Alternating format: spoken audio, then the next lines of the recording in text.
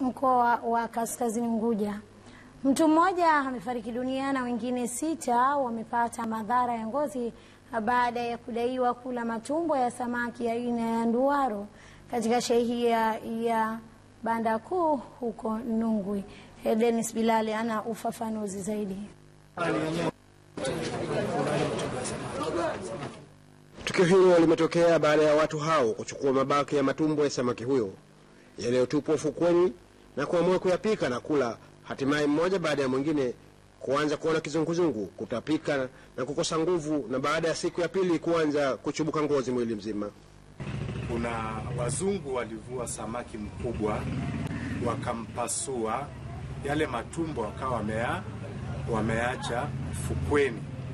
Sasa wale vijana wakachukua yale matumbo na maini wakaenda wakapika wakala.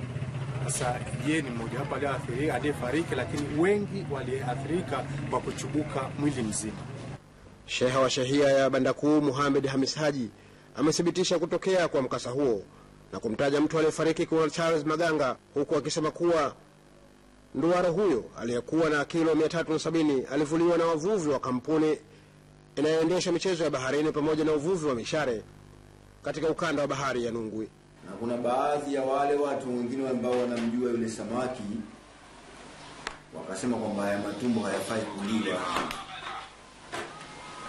kwa sababu ya yule samaki wenyewe, kwa sababu hata kama ni wakuvuliwa hivi hivi, basi wenyeji wa hapa wanakuwa yale matumbo ya yule samaki hawayatumii hawa kwa sababu ya matatizo.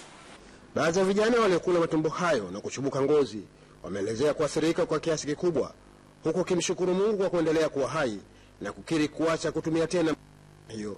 Hapa sasa hivi nishajifunza kwanza kula kula, kwanza nitakuwa naika pembeni sana, kwa sababu kwanza nina fundisho kubwa sana na vitu vya baharini, kwanza sasha visusia, siwezi hata kuvitamani. Yani kwanza wao wanavoma samaki kwanza, wamalizia huko huko madude yao, wasituletee sisi huko, sababu sasa ile usizani kuna njaa. Tukiletewa madude kama yale, si tutajua bwana, tutatoa nini na nini ili tupate kula tukae saa. Umeelewa mtu mzima? Daktari zamana katika hospitali ya Kivunge Adam Tahir amewataka wananchi kuchukua tahadhari, hasa wanapovuliwa samaki wakubwa wa aina hiyo. Juhudi za ZBC za kutaka kukutana na watendaji wa kampuni iliyomvua samaki huyo aina ya nduaro ziligonga mwamba baada ya mmoja wa watendaji aliyetambulika kwa jina la Nico Blika kutokuwa tayari kutoa mashirikiano kwa kile alichodai kuwa sio msemaji wa kampuni hiyo. Kamanda wa polisi wa mkoa wa Kaskazini Unguja Hasina Taufik ameeleza kutojua chochote kuhusiana na tukio hilo kwa vile hakuna taarifa iliyoripotiwa katika kituo chochote cha polisi katika mkoa wa Kaskazini. Haijafika bado ofisini kwangu, haijafika bado ofisini kwangu. Nikiripoti mimi Dennis Bilal wa ZBC.